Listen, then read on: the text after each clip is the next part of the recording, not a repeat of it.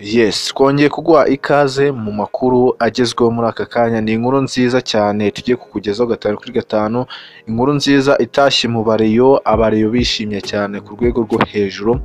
Ni ibintu bitari biherutse kuba mu ikipe ya Rayon Sport, by'umwihariko umukinnyi wayo Nzinga Ruvumbu yanditse amateka bwa mbere rutahizamu ukomeye cyane kuri iyi si ya rurema mu ikipe ya Rayon Sport akoze agashya. Ni byinshi byagaragaye mu mukino tugiye kwibandaho gatanu kuri gatanu, apudeti zitandukanye, amakuru mashya mu Rayon Sport uraza kumenya byinshi byerekeranye ni ekipe muri rusange. Hari byinshi byavugiwe nyuma y'amarido, hari umuhanzi Izzy wo muri Nigeria, akaba yari yicaranye na perezida w'ikipe ya Rayon Sport, Uwayezu Jean Fidele. Uyu ni umufatanyabikorwa w'akadasohoka w'ikipe ya Rayon Sport ashaka gushoramo akayabo k'amafaranga menshi cyane. Uraza kumenya byinshi kuri izi nkuru naguteguriye gatanu kuri gatanu. Mwabonye ko muri cumi n'umwe ikipe Rayon Sport yakoresheje harimo umuhungu Muhire Kevin wanagize umukino mwiza cyane. Bwa mbere akina mu ikipe Rayon wabonaga ko atanze ikintu cy'icyizere ku batoza bo mu Rwanda ndetse n'umunyezamu Tamare wakoze sevu yo ku rwego rwo hejuru. Ikaze ikaze mu makuru ngufitiye aho uherereye hose mu bice byo mu Rwanda ndetse no hanze yarwo. Eh, tubifurije ishya n'ihirwe mu byo mukora byose twibutsa ko niba utarakora subscribe munsi y'iyo video hari ijambo subscribe hakande ukande no kunzogera ujye uwa mbere. Mubona update mu makuru aba agezweho ari gucicikana kuri paji zikomeye ku mutekano mpuzamahanga ndetse n'amakuru y'imikino aba agezweho gatanu kuri gatanu. Ari nako turanzika ingingo imwe ku yindi. Ese byifashe bite? Kuki ikipe ya Sport yitwaye neza? Ni ukubera iki? Byagendaga nabi? Ubusize? Ubuyobozi bw'ikipe ya Sport birumvikana ko bwafashe umwanzuro wo guhana abakinnyi mu gihe bagaragaje umukino mubi n'igihe bagaragaje amakosa mu kibuga. Heritier Nzinga Ruvumbu wamenye ko ubu yabonye ikarita y'umuhondo biri gukekwa ko ashobora kutazakina umukino wa Police FC ariko ikindi kandi ku rundi ruhande byaba ari byiza cyane. Kuko na Ojera azaba yagarutse kuri Police FC azabikora. Ubwo Ruvumbu akaba yazakina umukino uzakurikiraho uzahuza ikipe ya FC ndetse n'ikipe ya Rayon Sport muri rusange.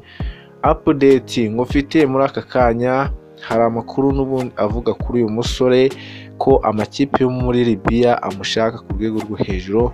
Hari Al Hilal Benghazi yahuye n'ikipe Rayon ibona ko ikipe Rayon iri hejuru cyane ndetse by'umwihariko iza kubona umukinnyi wanayizonze cyane ku rwego rwo hejuru. Bamwita Heritier Nzinga Ruvumbu bakaba bari gutanga amafaranga agera kuri miliyoni mirongo itanu y'amafaranga y'u Rwanda. Ku by'umwihariko ikipe Rayon Sport urumva ko igomba kumucuruzamo amafaranga menshi cyane ikamwuriza kubera ko Ruvumbu yatsinze hatiriki by'umwihariko. Andi makuru ahari ni ayo gushaka umutoza by'umwihariko umuvugizi w'iyi ekipe w'agateganyo yagize icyo avuga ku cyo gushaka umutoza.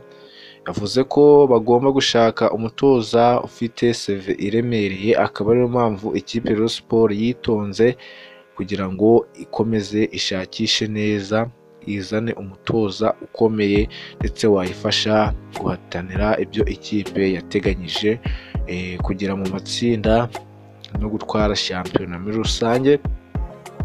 Ubu ikipe Rayon Sport mu gihe yatsinda Police FC ikongera igatsinda na APR FC yahita ijya ku mwanya wa mbere. Iryoshye imeze neza cyane kubera ko uyu munsi Musanze FC yanganyije na Muhazi FC igitego kimwe kuri kimwe.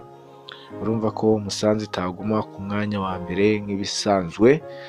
Hari indi mikino yakomeje kuba mu Rwanda itandukanye. Umukino ukomeye cyane Mukura yatsinze. N'andi makipe yagiye abikora Gasogi United ni uko ubwo akaba ari update nari ngufite ejo ku munsi w'ejo ikipe FC ifite ikipe ya Etincelle by'umwihariko ni ikipe Rayon Sport ikeneye kwitegura ku buryo bukomeye cyane. Tugaruka ku muhanzi izi wagaragaye ko afana ikipe Rayon Sport ndetse anayikunda. Ni icyamamaye ku rwego rwo hejuru. Afite seve iremereye uyu muhungu ni umuhanzi w'akataramboneka araza no kujya muri Trace Award iri buze kuba uyu munsi. Uyu bamwita Chris Easy ni umuhanzi wo ku rwego rwo hejuru. Ari nako afite amafaranga y'umurengera. Yashatse gushora ibikorwa bye mu ikipe ya ariko ikintu cyatunguranye kuri uyu munsi ni uko yari yicaranye n'umuyobozi w'ikipe ya Rayon Sport aho byari byiza cyane yambaye umwambaro w'ikipe ya Rayon Sport uyu muhanzi akaba ashaka gushora ndetse n'uko yakongirana ubukoranire hagati ya kampani ye ndetse n'ubuyobozi bw'ikipe ya Rayon Sport kugira ngo bakomeze kuzamurana muri rusange.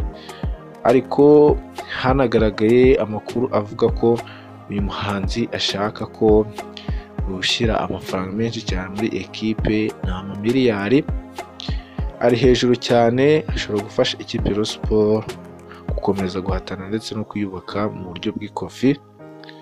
Ni nako ku rundi ruhande tugaruka ku makuru akomeye cyane avuga kuri Muhire Keve ni umukinnyi wasinye mu kipe Rayon Sport asinya amaze igihe kingana n'amezi hafi atandatu adakina aryamye hariya iwabo. Ikipe Sport ubwo ni nako yadiringaga kugira ngo ibone ko yishyura kabwiri yemererwe kugura umukinnyi. Nk'uko ikipe Sport yabipanze kuri lisite yari izatanga hari kuburaho abakinnyi batatu hari hari kubura bane. By'umwihariko umukinnyi umwe yagiyeho ubwo ni Muhire Keve ubwo abandi batatu nibo basigaye kugira ngo urutonde rube rwuzuye rw'ikipe Sport muri rusange abakinnyi bazahatana muri urwo rwego ikipe Sport yasinyishije Muhire Keve Muhire Keve akora imyitozo agaragaza urwego rwiza ko ari umukinnyi mwiza ushobora gufasha n'ikipe Rayon Sport yanatsinze igitego nubwo bacyanze wabonaga ko ari umukinnyi mwiza cyane uzatanga akazi muri iyi shampiyona.